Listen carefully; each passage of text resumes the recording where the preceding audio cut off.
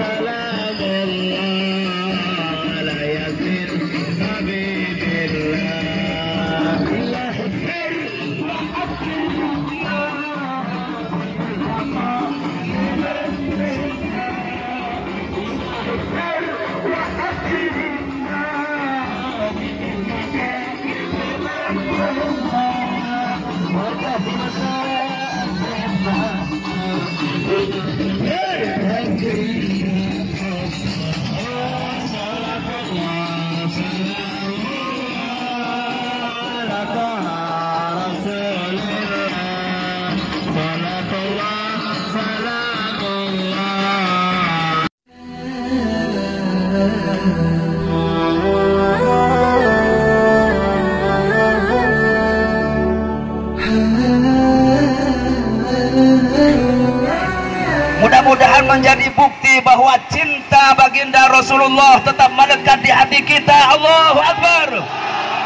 Kita berkumpul pada tempat yang mulia ini mudah-mudahan menjadi bukti bahwa cemburu akan iman, cemburu akan Islam, cemburu akan baginda Rasulullah tetap melekat di hati kita. Allahu Akbar. Allahu Akbar. Saudara-saudaraku yang aku cintai, kita berkumpul pada tempat yang penuh dengan berkah ini bukan untuk merusak, bukan untuk memprovokasi, bukan untuk anarkis, bukan untuk radikal, akan tetapi kita berkumpul di tempat yang mulia ini menandakan bahwa kita cinta negara yang kita cintai, cinta akan NKRI, kita umat Islam taat hukum, kita umat Islam taat negara, kita umat Islam taat pemimpin, kita bangsa Indonesia yang beragama Islam pada bulan-bulan terakhir ini Nabi kita dilecehkan Nabi kita dihina Nabi kita dilecehkan.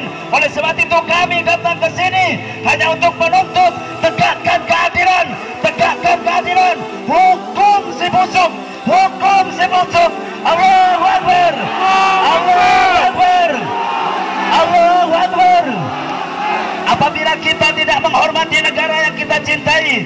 Justru kedatangan kita ke tempat yang kita taati menandakan bahwa kita taat hukum.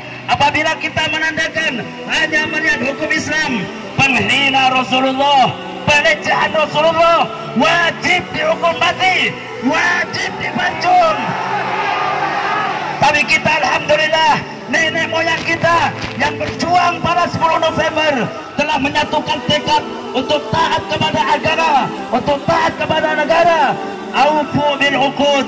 Allah Subhanahu wa taala menyerukan kepada kita untuk tidak ingkar janji, untuk tidak khilaf janji. Kita sekalian telah berjanji kepada para ulama, kepada para petinggi-petinggi negara akan taat akan Undang-Undang 45 bahwa ketika kami dilecehkan, ketika umat Islam di, dilecehkan, ketika kami Nabi dihina, tolong tegakkan undang-undang 45 tolong tegakkan hukum secara adil. Hukum si busuk. Hukum si busuk. Allahu Akbar.